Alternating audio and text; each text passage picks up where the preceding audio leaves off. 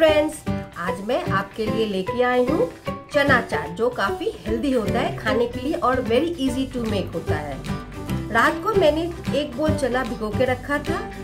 ये है तीन मैंने छोटे उबले हुए आलू लिया है, कटा हरा धनिया क्यूकम्बर कटे हुए टमेटोस कटे हुए, प्याज कटे हुए, लाल चिली पाउडर ग्रीन चिलीज काला नमक रोस्टेड जीरा पाउडर और नींबू का रस। बॉइल्ड पटेटोज को मैंने छोटे छोटे कट कर लिया है। ये मैं दो लोगों के लिए बना रही हूँ। मैं एक बोल में एक छोटा बोल चना ले लूँगी।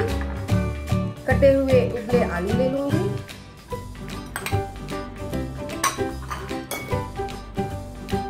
कटे हुए अनियन ये आप अपने स्वाद अनुसार डाल सकते हैं।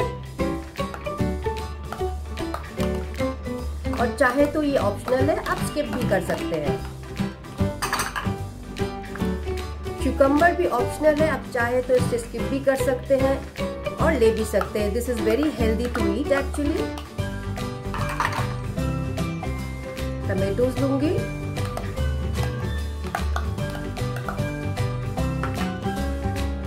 और इसे मिक्स करूँगी।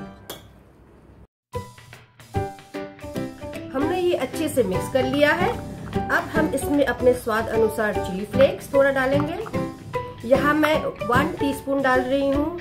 स्वाद अनुसार काला नमक रोस्टेड जीरा पाउडर वन टीस्पून ये भी आप अपने स्वाद अनुसार डालेंगे।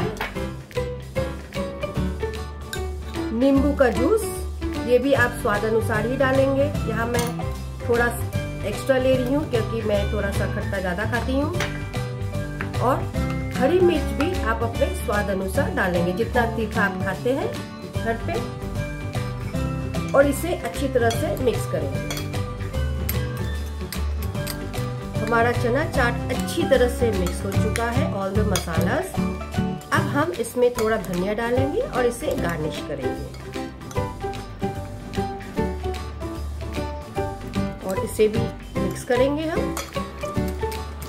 हमारा हेल्दी चना चाट इज़ रेडी आप देख सकते हैं, इसे बनाने में ज़्यादा टाइम नहीं लगता है. It is very quick and easy to make हमारा चटपटा chana chaat is ready to be served